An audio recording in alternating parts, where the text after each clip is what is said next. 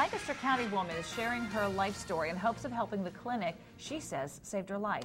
But as News 8's morning reporter Caitlin Smith shows us, it's not an easy story for her to tell for more than one reason.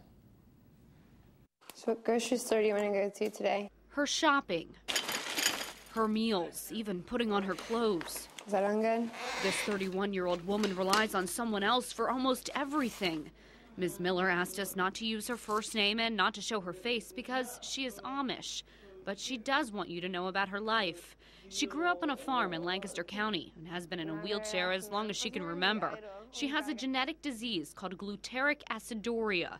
It affects her muscles and her speech.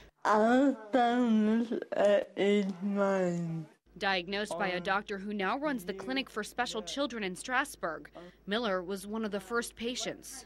I can't tell you how many medications I tried. I'm more or less a guinea pig. Even today, she takes seven pills in the morning and four more at night. But it helps. It takes experience, concentration, t- trying to control my head.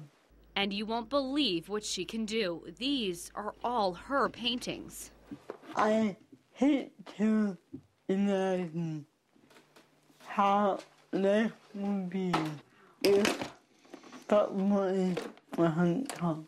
She's also able to type. She writes to others dealing with her disease. She tells them she takes life one day at a time and lives life as it comes.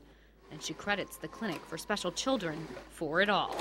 Not this in my life, but seeing me life.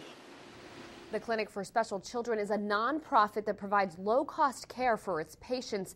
It does rely heavily on donations and an annual benefit auction, and that auction is this weekend. It's the 20th year for that auction. It's this Saturday morning at 8:30 at Leola Produce Auction on Brethren Church Road in Leola, and some of Ms. Miller's artwork will be on the auction block. Now, Lori, I heard you say there's no paint on that paintbrush when mm-hmm. she was painting there, and we can tell you why.